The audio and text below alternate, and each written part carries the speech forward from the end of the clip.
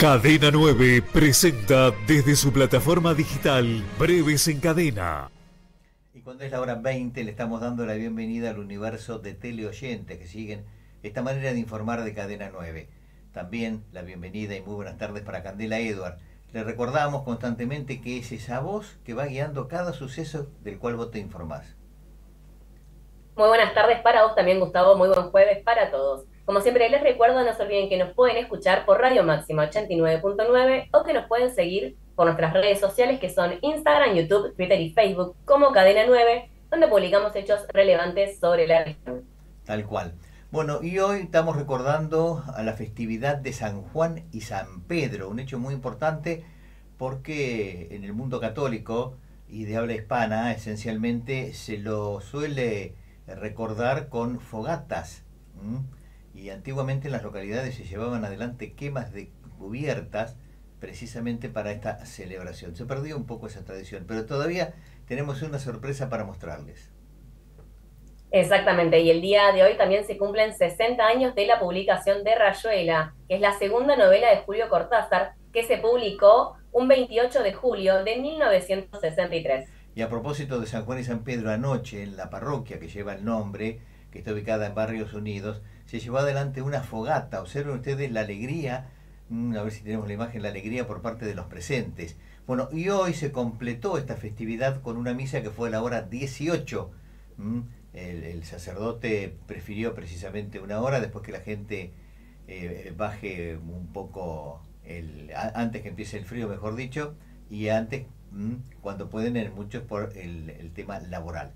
Pero fue una celebración importante de San Juan y San Pedro. Ahora vamos a recordarte los datos del tiempo a propósito de ello. Son pasadas las 8 de la noche y tenemos una temperatura de 9 grados, humedad de un 39%. Y 13 grados fue la máxima de este jueves 29 de junio. Comenzamos con un accidente vial, esto fue en la ruta 188, un fuerte accidente entre General Villegas y Amenino. Un auto embistió a un camión desde atrás. Por suerte no hubo víctimas ni heridos de consideración. El conductor del automóvil salió por sus propios medios y las imágenes son muy impactantes. Tal cual, Candela. No solo las imágenes son impactantes y es muy bueno lo que le estás adelantando a quienes nos siguen de que afortunadamente el conductor del vehículo salió por sus propios medios. Todo increíble. Seguramente la mano del Señor fue puesta en ese momento para que no haya una víctima fatal. Pero también el accidente nos convoca a pensar permanentemente de la manera en que estamos transitando cada una de las rutas y caminos. Mucha distracción por parte de nosotros, fundamentalmente por el celular. Y hoy, a la luz mm, de la tecnología que tienen los vehículos, no hay que distraerse ni un segundo, ni una décima de segundo, porque ocurren hechos de esta naturaleza. Se investigan las causas, pero no se descarta una distracción de este tipo. Cambiamos completamente de tema porque con 64 presentaciones se inició la Feria de Ciencias 2023 del Distrito 9 Juliense. Fue en la Escuela de Educación Técnica número 2, donde la inspectora en jefa distrital expresó, estoy feliz por el trabajo realizado. Y varias veces, perdón, varias veces, Leonor Capriroli mencionó que estaba feliz en esta muestra, no solo por la cantidad de trabajos, es la primera vez en el marco de 50 años que lleva adelante esta feria distrital, que se realizan tanta cantidad de ponencias o de propuestas. Y segundo, la cantidad de banderas argentinas que se vieron hoy como consecuencia de todas las delegaciones, desde jardín de infantes, pasando por primarias, adultos y secundarias, bueno, que estuvieron presentes, que le dieron un colorido celeste y blanco mm, que muchas veces no se veía. Y también la docente resaltó algo que a veces para nosotros pasa desapercibido, pero que para la comunidad educativa y los docentes que tienen una mirada y un oído bastante eh, agudo, bueno, destacaron que los más pequeños cantaron con mucho entusiasmo el himno nacional argentino. Más noticias. La cobertura la puedes encontrar en nuestras redes sociales. Sin salir del tema, 11 universidades argentinas están entre las más prestigiosas del mundo y obviamente la UBA encabeza la lista local. Bueno, siempre se habló que la Universidad de Buenos Aires, que nació hace mucho tiempo, es conjuntamente con la Docta de Córdoba las universidades más emblemáticas del país, después le sigue la Universidad Nacional de La Plata. Pero en un ranking, por decirlo de alguna manera, en el marco de trabajos, de investigación, de publicaciones, mm, de idoneidad académica, bueno, la UBA precisamente está conceptuada a nivel mundial una de las mejores.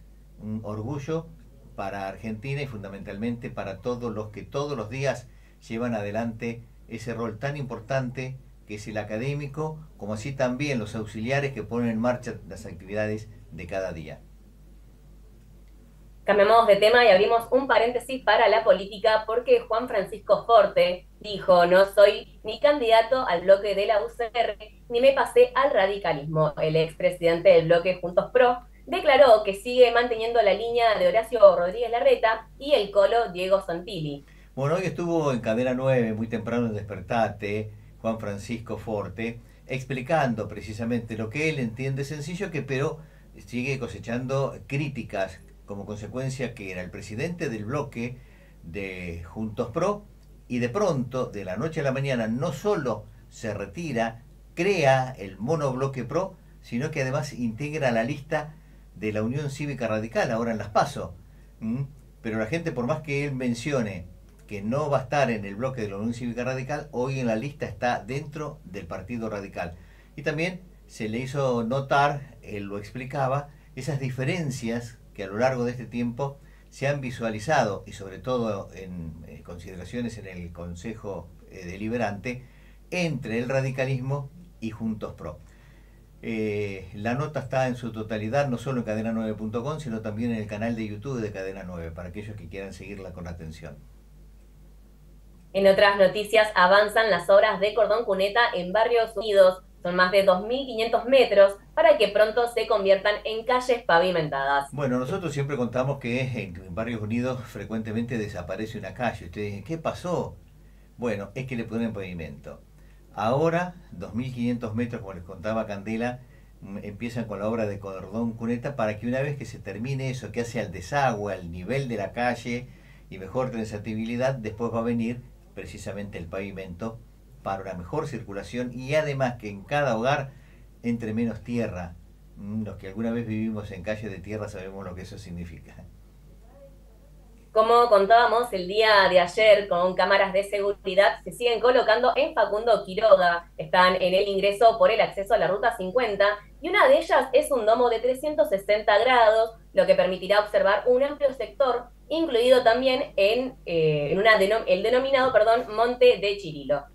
Efectivamente, que está en el ingreso a Facundo Quiroga y de esta manera es el plan que en materia de seguridad está empleando la administración Barroso. Mañana va a ser una conferencia de prensa el jefe de seguridad, eh, Fabián Beltrán, para dar a conocer este alcance de eh, conectando localidades a la luz de las cámaras de seguridad que ya están en Carlos Marianaón, que se las contábamos en el día de ayer. Hoy las cámaras de seguridad para Facundo Quiroga y va a seguir la ampliación también de cámaras de seguridad para las otras localidades, entre ellas Dudignac y, y otras localidades del distrito. Pero mañana se va a dar más información específica sobre ello. Recordamos, se sigue convocando a los productores a denunciar sus tranqueras. La municipalidad de 9 de julio, a través de la Subsecretaría de Producción, continúa desarrollando el sistema para establecer la nomenclatura de caminos rurales del distrito y en este contexto permitir la ubicación de las distintas tranqueras a fin de determinar el acceso a cada campo. Candela, nosotros como medio de comunicación insistimos en esto desde hace mucho tiempo, cuando se puso esta modalidad. Los chacareros, que suelen tener dos tiempos, primero estudiar, eh, después tomar la decisión y hasta tres, hasta que precisamente aceptan esta modalidad, fueron al principio remisos. Ahora están entendiendo que esto hace bien a la comunicación, sobre todo, como vos contabas, en los casos de emergencia, se está necesitando una ambulancia rápidamente, un GPS los ubica gracias a haber puesto esa nomenclatura en el sistema, una ambulancia, eh, Dios mediante que no la necesiten, o así también a los bomberos voluntarios, que ojalá, ojalá nunca sea necesario. Bueno, tomando conciencia de la importancia que tiene denunciar esas tranqueras, rápidamente está facilitando a estos servidores cómo llegar en un auxilio. Desarrollo Agrario informa en la ruta sobre el alcance de la emergencia agropecuaria. Lo hace este jueves, o sea, mañana, desde las 6 de la tarde en forma conjunta con la Subsecretaría de Producción Municipal. Sí, eh, es un hecho que está terminando en este momento. ¿eh? En la sede de la Sociedad Rural se le informó precisamente a cada uno de los productores, aquellos que presentaron las planillas, cuál va a ser el alcance, cuál va a ser la medida.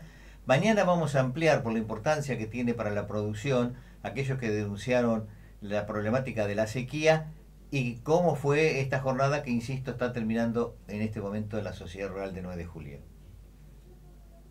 Seguimos con el tema porque la demanda mundial de carne con precios firmes surge de la segunda charla organizada en la Sociedad Rural de 9 de julio, donde el licenciado Víctor Tonelli explicó los mercados posibles. Bueno, ayer nosotros contábamos acerca precisamente de esta jornada sobre la importancia de la producción de carne. Hoy se conocieron más detalles que son esto que le está contando Candela. La importancia de un precio sostenido y la producción, bueno, hace a una mayor demanda del consumo de carne. Vamos a un tema que tocamos el día de ayer porque por suerte se regularizó la entrega de licencias de conducir. Llegaron los insumos y el horario para retirarlas es de lunes a viernes desde las 7 a la una de la tarde. Esto es en la Galería Italiana. Bueno, ayer contábamos la problemática. Hoy está resuelto, afortunadamente. Así que ya aquellos que estaban aguardando su licencia de conducir ya pueden empezar a retirarla. Llegó el insumo para imprimirlo, que es un material específico enviado desde el gobierno nacional. Estaba demorado en un tema de logística, ya ingresó en el proceso y ahora se están terminando de confeccionar esas licencias de conducir atrasadas para que lleguen a destino por la necesidad de ustedes que hace al trabajo, ¿no? Pasamos a la noticia para los animalitos de la casa porque se castraban mascotas en la Plaza de la Cooperación. Esto se hizo esta mañana y continúa el viernes 30 mañana desde las 8 de la mañana hasta el mediodía. Bueno, es parte de esta campaña del albergue canino a los fines de tener bien presente la sanidad animal en todo el distrito. Por eso se movilizan en los distintos barrios, han ido a las localidades y esto es a lo largo y ancho de todo el año mm, precisamente para ese control de sanidad. Para ir terminando con las noticias, le damos un cálido recuerdo a Juan Ángel Coto Maldonado, que falleció este miércoles y el Club San Martín resalta su conducta para la institución. Candela, no solo el Club San Martín eh, rescata los valores de este hombre, muy querido en la comunidad, como Coto Maldinado, padre de una familia muy numerosa, con hijos algunos eh, preadolescentes, otros adolescentes, otros ya que han formado sus respectivas parejas, con nietos, sino que dejó una huella en el fútbol, primero como jugador, hacía siempre una entrega muy importante de talento, de capacidad, y después ya como técnico, dirigiendo a distintos clubes y que todos los recuerdan con mucho cariño y con mucho afecto. También nosotros hacemos llegar la recordación y el afecto a toda la familia. Pasamos al pronóstico del tiempo. Tenemos ahora una temperatura actual de 9 grados, una humedad de un 39%. Para el día de mañana vamos a iniciar con una mínima de 3 y una máxima de 15, pero va a estar muy soleado el día, por suerte. Sí, gracias a Dios, como antesala un fin de semana que mañana les vamos a contar en detalle cómo va a ser precisamente el mismo. Estas fueron las noticias del día de hoy. Los esperamos mañana a las 20, como todos los días. Y a ustedes, como les decimos siempre, que Dios bendiga a cada uno de ustedes, a sus hogares. Hasta mañana a las 20. Chao. Empresas comprometidas con el crecimiento de la ciudad, la región y su gente acompañan a Breves en Cadena, Loto Plus, otra manera de probar suerte. Lucas Tortolo, tu auto arranca en San Martín y Chacabuco. Negocios asegurados. 6. Mariano Moreno, la cooperativa con servicios pensados en sus asociados. Banco Provincia, la banca líder en la vida de los bonaerenses. Ruraltec, confort en casillas desplazables y viviendas para el campo. Obras y turismo. Cerrajería Los Amigos. Amigos de Abrir Puertas. Maribel Bruno, producciones fotográficas y sublimaciones. Creativos que son recuerdos para siempre. 23 17 48 4551. Banco Nación, líneas de créditos, siempre. Villarreal Viajes, servicios de viajes y encomiendas. Banco Galicia, acompañando a cada emprendimiento. Electricidad 9 de julio. También artículos de ferretería y natatorios. Rurales Balinotti. Simplifica la labor del hombre de campo. Consultorios médicos corrientes. Profesionales con trayectorias en cada especialidad. Colegio de Farmacéuticos de 9 de julio. Eslabón importante en la cadena de la salud pública. Santorini, siempre presente al decidir cada viaje. Telequino, el cartón semanal de la diosa Fortuna. FIF, grabado láser. La otra seguridad, Municipalidad de 9 de julio. Esta modalidad informativa cuenta con el respaldo de empresas, comercios e instituciones comprometidas con el crecimiento de las ciudades y su gente. A todos los que se suman, muchas gracias. Saben que en cadena todo se multiplica.